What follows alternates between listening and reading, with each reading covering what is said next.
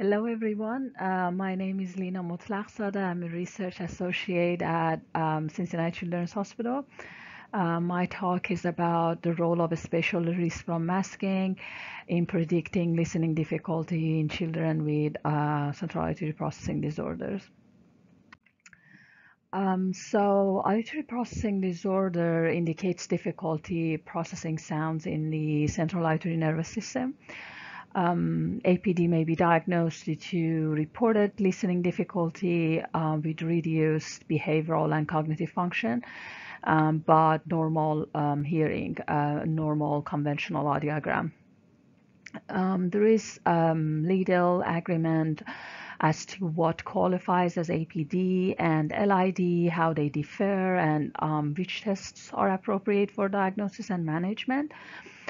Um, recent work suggests that um, LID or APD is preliminarily um, dependent on cognitive, um, including listening problems.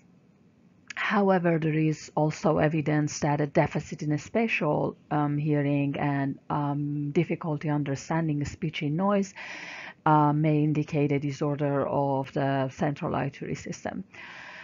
So um, this study aimed to um, isolate a cognition from auditory contribution to spatial free, uh, release from masking, um, which is one of the uh, auditory abilities essential for auditory scene analysis um, and speech perception in noisy multi-talker environments.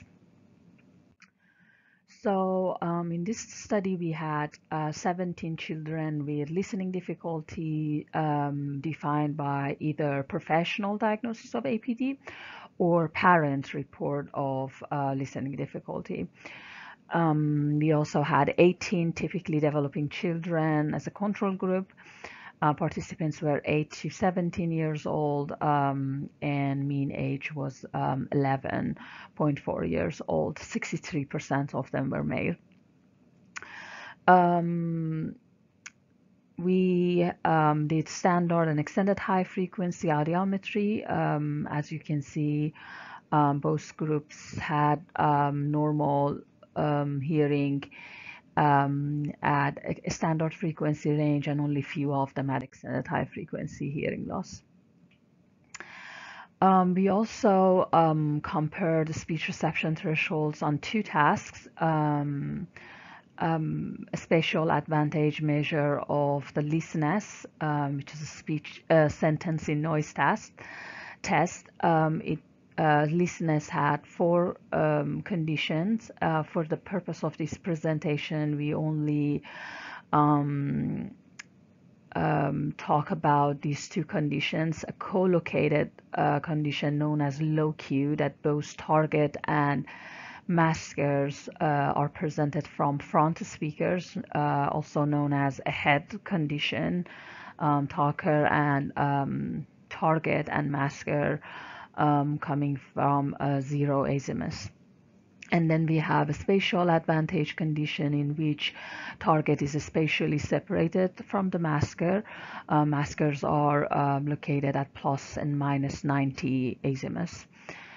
Um, for the sound field digit noise test, we have similar condition, um, a head condition uh, in which both digits and uh, multi-talker babble coming from front speaker and then um, side condition or uh, spatially separated condition that uh, maskers are um, spatially separated from target.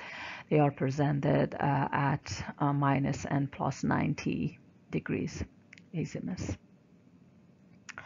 So um, as uh, you probably know sound field digit noise or digit noise test is much easier or cognitively less demanding compared to LiSN-S um, which is a sentence in noise test. So for digit noise, we have um, sequence of three digits, zero to nine, uh, presented um, against um, multi-talker babble noise.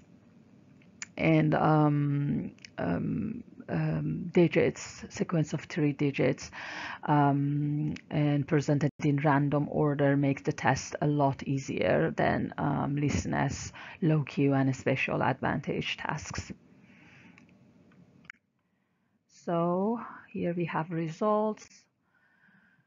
Um, both LID and TD groups had um, better speech reception thresholds on both tasks when the noise was spatially separated. So this is showing um, sound field digit noise speech uh, reception threshold.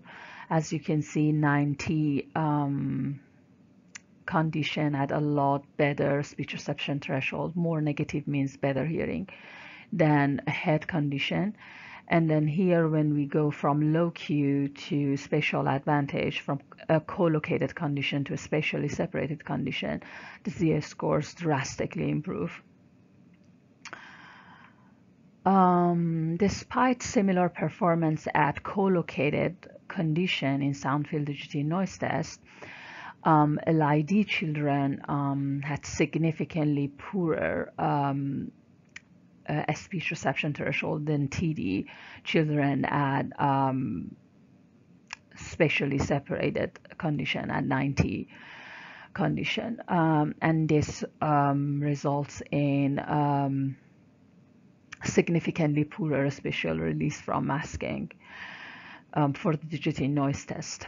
However, um, SRM or condition in um, LiSN-S task or special advantage measure of LiSN-S um, was not significantly different between the two groups, LID and TD groups. So overall, um, this is showing that children with LID have significantly poorer ability to differentiate target from background noise when the task was less demanding, was much easier. Um, so digit noise test compared to the LiSN-S. Um, it's worth mentioning that there was a significant correlation between sound field digit noise SRM and LiSN-S uh, spatial advantage. So these two tasks was significantly correlated. However, LiSN-S uh, spatial advantage um, um, was not significantly, the score was not significantly di different across groups. So to wrap up, um, um, as um, I just uh, mentioned, sound field digit noise was more sensitive to LID than LiSN-S, so the task was less cognitively demanding, um, and I uh, was measuring um, uh, the ability, like bottom up um, auditory perception. Um, and a related difference in SRM between LID and TD groups on both tasks um, provides a long sought evidence that brain mechanisms prelim preliminarily serving bottom-up auditory perception may contribute to listening difficulties in children with APD. So thanks for um, listening. I'm happy to answer um, your questions.